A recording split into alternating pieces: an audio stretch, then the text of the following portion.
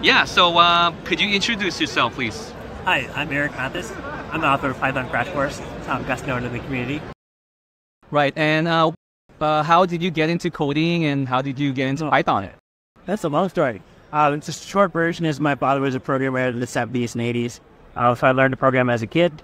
I went through like the basic C, uh, Java, Python progression. Um, as a teacher for a long time, uh, and I always stopped programming when I could because I have gotten so much from it. And yeah, now I'm a writer and programmer all time.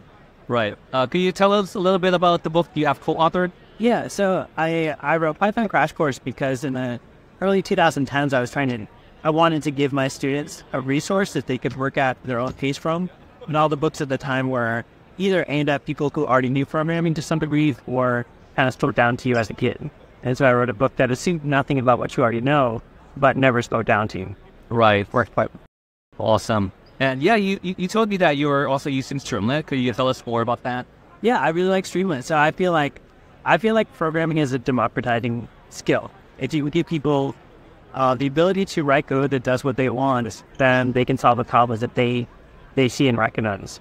Um, and so when I started doing this work, you know, data analysis meant like understanding your data set fully, learning how to parse it, doing a bunch of manual work, um, and tools like Streamlit that let you just write a few lines of code and get the value that you need for your data, um, and then share that with everyone. It's just incredibly powerful. Right. Um, you, you, told me briefly about the app that you're building for analyzing and comparing newsletter. Uh, could you tell us a little bit more about that? Uh, sure. Like I write a weekly newsletter called Mostly Pythons, uh, and comparing the cost of different newsletter platforms is hard because it depends on what your subscriber count is, how much people pay, how many of your subscribers are paid, um, and each platform's pricing page doesn't really tell you how much your newsletter will cost because you have to figure in those factors.